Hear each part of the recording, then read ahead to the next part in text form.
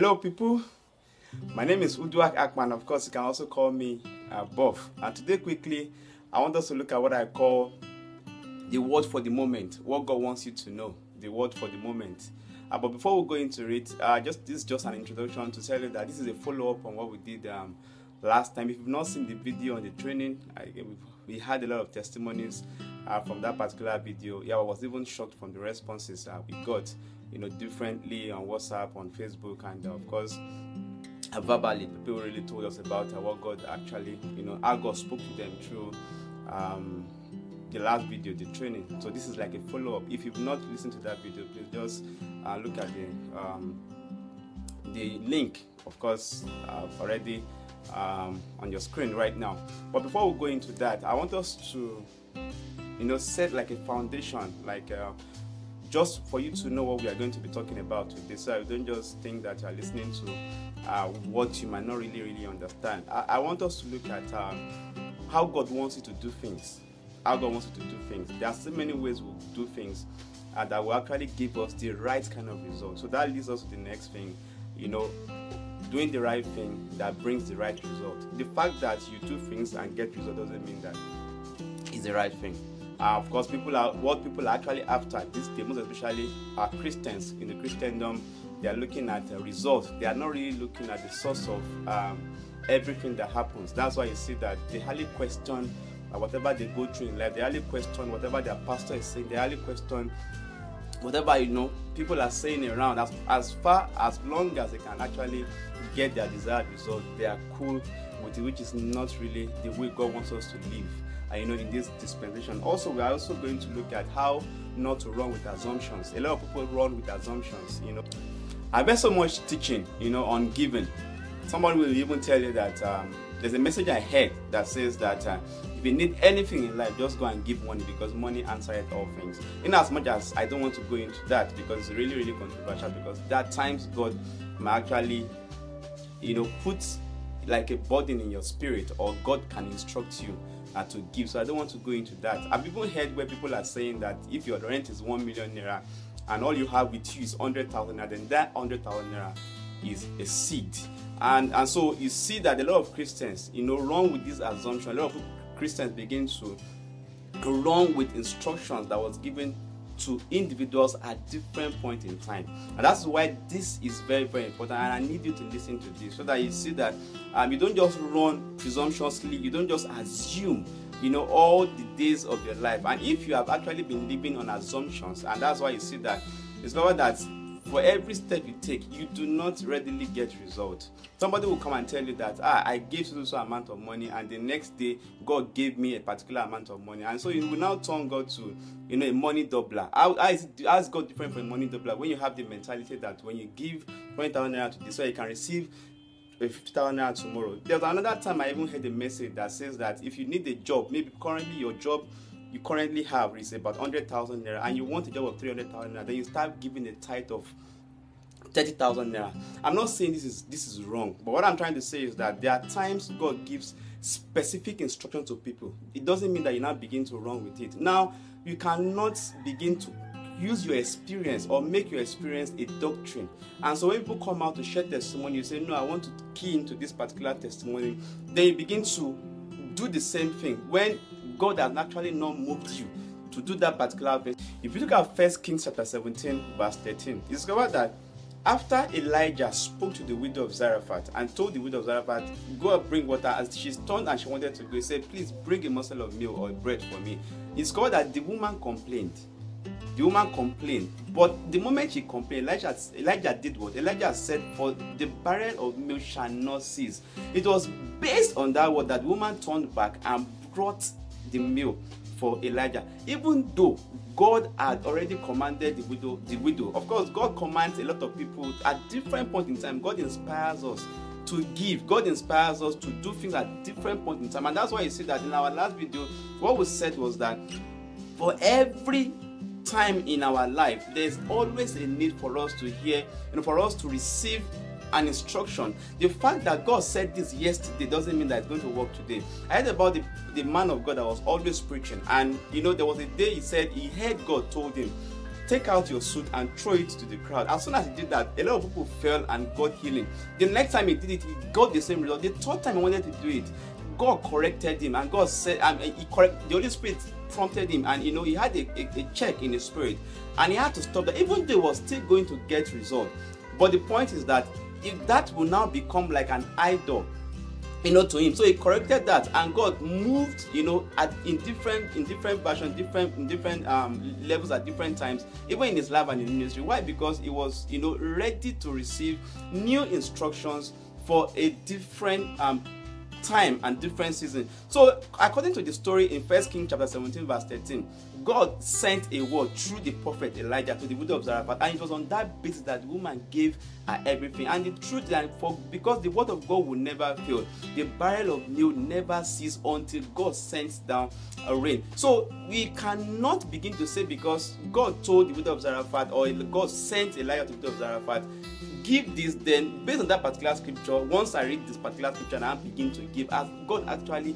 asked me to go and give everything in my pocket as god actually asked me to go. And so that's one thing is very very important because god moves at different times with different um, season and with different um, instruction. So the, the faith of the widow of zarephath was based on the word and she received and that is one thing that you really need to know another example i can readily give is personally happened to me i went for a program very close to the house some years ago i can think about 2013 then I, had just 250 naira in my pocket and when the time of offering came I wanted to give the 200 naira because I knew 50 naira could take me home from where you know I was. And I heard in my spirit, do not give the 200 naira, give the 50 naira. And I looked around and I said, who spoke to me? And the point is that giving is a good thing. And I was giving to God. I heard in my spirit. If not that I knew how God speaks to me, then I would have disobeyed the voice. So, but I obeyed. I gave the 15 naira and I and I went out. Just about when I was stepping out, I met a young man. Of course, a young man I know very well, a member of the church, and he came to me and said he's going home. He doesn't have a dime in his pocket, and he needs to come back for the same program later in the evening. That he needs 200 naira. At that point, I remember that God told me give the 15 naira. Now, the, the thing is that the giving I gave, because I, I handed over the money to the guy because I knew God already instructed me ahead. Not knowing that God was going to send somebody to come and collect the money, or somebody needed that particular amount of money. So you see that sometimes we need to clearly you know, be moved and inspired by God. Not just anybody coming out to tell us and say, come and give one million naira, ten million naira.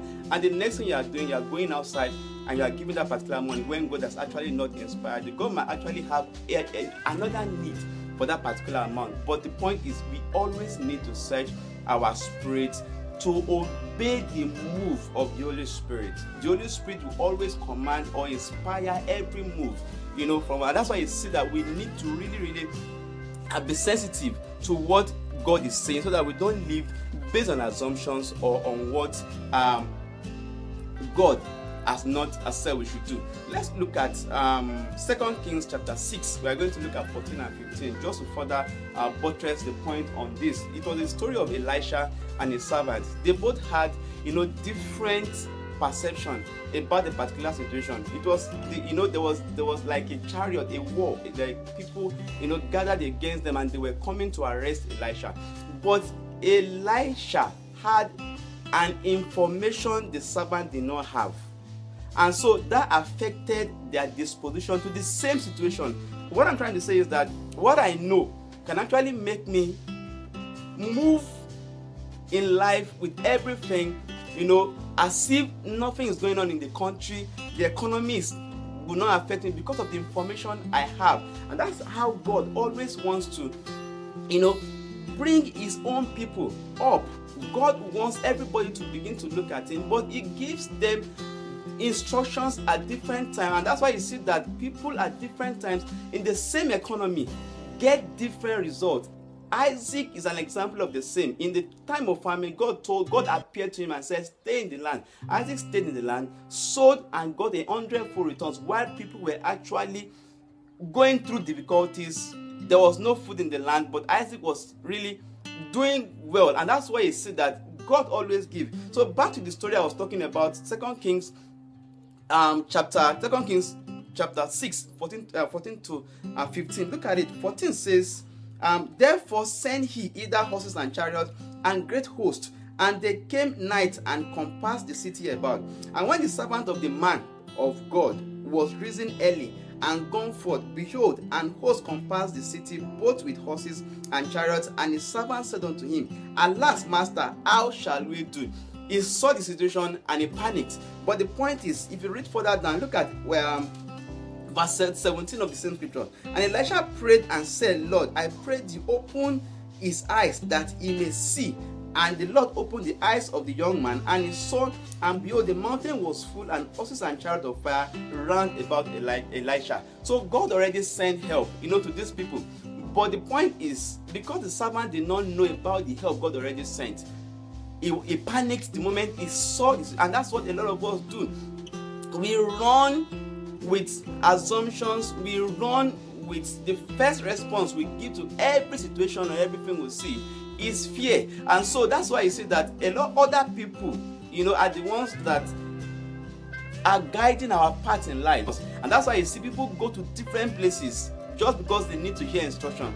So they don't care about the medium of the instruction or the medium of, of information, but all they need to do as long as this will keep them safe or this will make provision for them they are cool with it just like i said. That's why you see that the nudgings we get you know when you begin to work with the holy spirit the holy spirit holy spirit begins to build you up then at different point in time it begins to drop instructions in our spirit to guide our path in life you know to guide our way in life you know to to to, to you know to move us further in life. And those times when god is not saying anything like i always say that those times could be the times of training that trust now needs to be further hear god. You cannot apply the same principle that worked yesterday to the principle that work today. In the case of, of, of peter if you look at acts you know chapter 15 uh, chapter 5 15 to 16 it was the shadow of peter that was healing people. If you look at when it was, it was time of paul it was the mantle and apron that was healing the people casting out demons and all those things. So does it mean that god could not use the shadow of paul to heal people? No it's different. The only thing is that the holy spirit wants you to always depend on him for every step you take in life. And that's why you see that for to always need to go back to him to get further instructions. You cannot box the holy spirit. And that is why you see that john chapter 3 verse 8 talks about the fact that the man of the spirit is like a wind. The holy spirit can give you this instruction today and he can give you further instruction tomorrow. So we always need to go back to him or to pay attention and begin to listen to those words there are different words for every stage we get to in life. There are different words for every season of our life. But you must need to go back to the holy spirit. You need to go back to the holy spirit to always give you these instructions that we can run with it. It worked yesterday doesn't mean it can work today. The holy spirit is calling you and he wants you to always listen to him pay attention to him. There's a word that he will always send you for each season and each time of your life. If this has blessed you, please do not forget to share, do not forget to subscribe. If this is your first time on speaking to channel, and to our returning subscribers, I want to say thank you so much. It's been a blessing um, to have you here. Thank you so much. The name is Uduak Akman, and God bless you real good. Before I go, I pray for you that you will not run with another person's mission. You will not run with another person's information. You will not run, you know, with somebody else's part in life. God will keep you and your life will remain in His Word all the days of your life. Thank you so much. God bless you. Real.